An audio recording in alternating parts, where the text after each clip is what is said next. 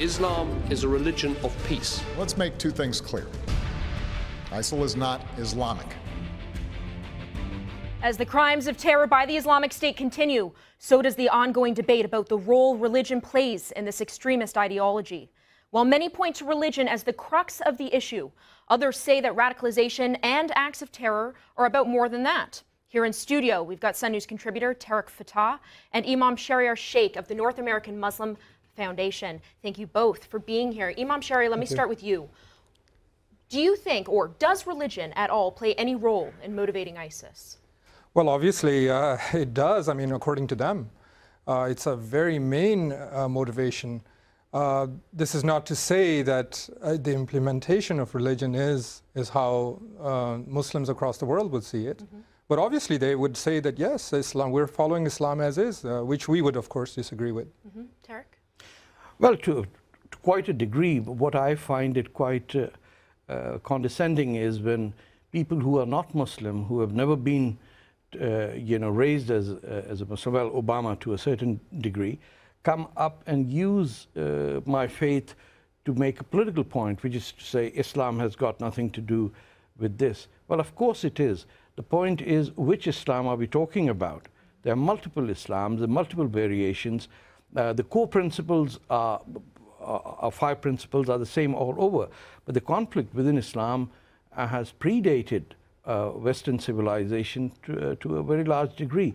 And to, for non-Muslims to one way or the other, to either declare that Islam is fundamentally flawed or to say Islam is fundamentally peaceful, is not shouldn't be their problem. Mm. They should be discussing what needs to be done to end a war.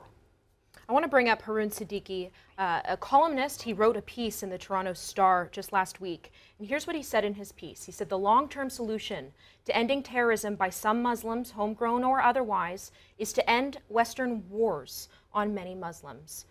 Let me start with you, Imam. Well, abs absolutely. I mean, if you look at, uh, you know, the area of Iraq and what exactly happened there, I mean, uh, you know, you had, uh, for example, a situation in which about 1.5 million Iraqis were killed as a direct result of a, of a U.S. invasion and occupation.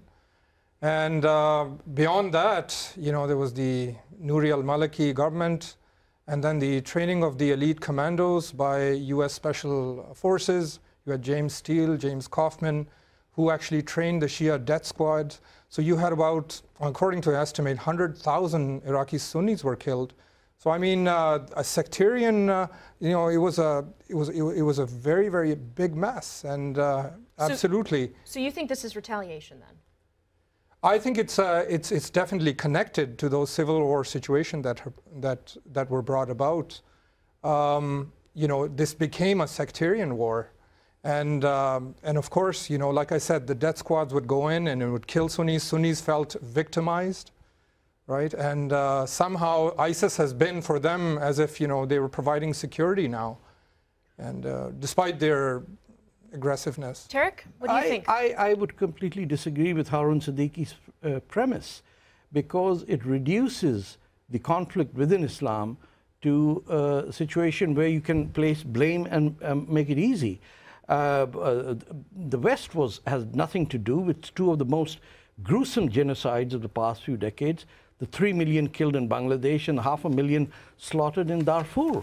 These, one was a Sunni Muslim, fair-skinned people of my background or Imam Shahryar's background carrying out a slaughter of from a million to three million people in 1971 in Bengal of dark-skinned, shorter uh, height uh, Sunni Muslims the entire Arab world, Iran, and everyone else, Turkey included, supported Pakistan in that slaughter. You look at Darfur, where half a million Muslims are slaughtered by the Arab Janjaweed. The rest of the Islamic world didn't speak. There is, it would not be correct to say the West has no role to play. Everything I say or do has an impact on someone else. We're an interconnected world. You cannot dismiss colonialism to have had its effect, but then you cannot dismiss 600 years of Turkish colonialism, of taking over Arab land, taking over Kurdish land, uh, you know, attacking uh, Iran for 100, uh, almost 200 years of wars went on, at a time when the United States of America and Israel, which is or India, the Hindu and, uh, and the Jew conspiracy, these didn't exist.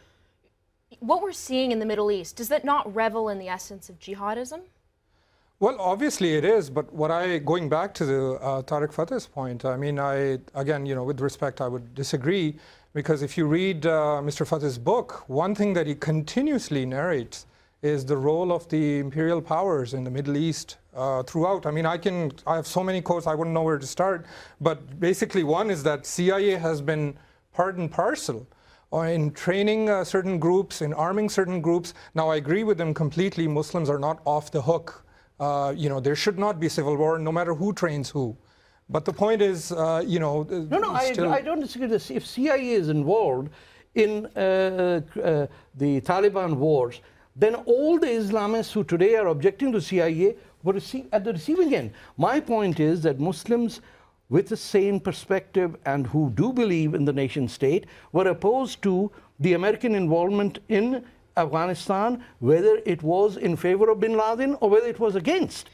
The point is that without bin Laden or without Al Qaeda, whether America went in or not, without Nouri al-Maliki, the dirty game that he played, Americans couldn't have done anything. Mm -hmm. We have provided them with the uh, uh, conduits uh, through which they have uh, been able to control. If that claim is correct, my contention is no.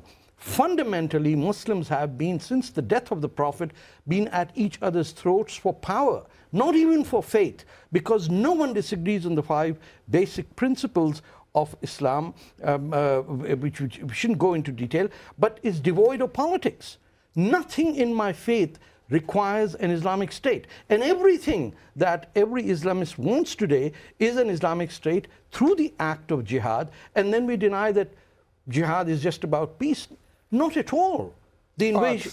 Uh, I, th I, think that's a very broad generalization. Well, not general, but uh, I mean, I, I, you know, I personally, I think state is not. I mean, wherever there are Muslims in a community, um, quite naturally, they will go back to whatever the model of the political model that they are used to that they know about, which is the Khilafat al-Rashid. Why? No, we no, don't but, know. We're no, both Canadians. No, but let me say, let me okay. finish this. There are Muslims in, in, for example, Palestine or Iraq or wherever they are.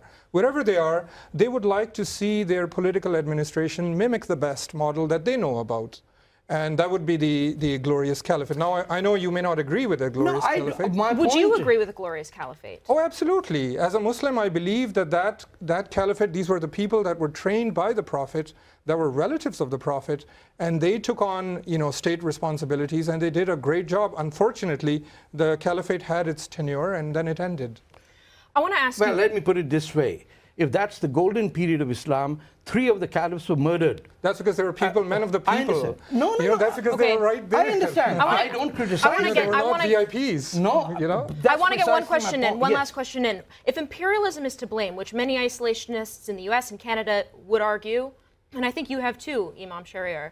If imperialism is to blame and they're and they're retaliating against Western intervention, what was it the, what was the crime that the Christians and the Yazidis committed? Christians who, by the way, predate Islam by 600 years. Absolutely. Marisa, good question. And this is what makes me very suspicious and very, in fact, uh, concerned about the, these ISIS and their claim to the caliphate. You see, caliphate is first and foremost about, um, uh, about upholding God's law. And they, apparently from reports that I've come, come across, they just uh, went in and they threatened Yazidis, made them run up the mountain, you know, killed Yazidis, uh, you know, persecuted people, even Muslims. And, and this is not the caliphate that we know about. This is not the caliphate that we would like uh, in Muslim but, uh, majority. here's a point, Shahryar. Every caliphate after the first row caliphs has been an imperial power. If we are against imperialism, we have to be against Arab imperialism. Under what law, under what guidance did uh, uh, the Arab uh, Caliphate invade India, where I come from? How did they invade Persia? On what grounds would they invade Egypt? Now we have even the Umayyad Mosque, uh, was uh, St. John's the Baptist Cathedral, was razed to the ground and uh, a church was built. So if anyone in ISIS, now I'm not saying that's the normative, I'm saying if we look back at those caliphs, and we find that the Turks in the 15th century take over mm -hmm. Saint uh, uh, Hagia Sophia and turn it uh, uh, the, uh, the church of the Eastern Orthodox uh, uh, Christianity and turn it into a mosque. Then you have justification. So the point No, being, but, no, but Tarek, you right. know that this is not Islam. All right. I understand, but they can invoke All right. it. I have to end it there. Okay. So that's all the time we have. Thank you both for joining me. We'll do this again.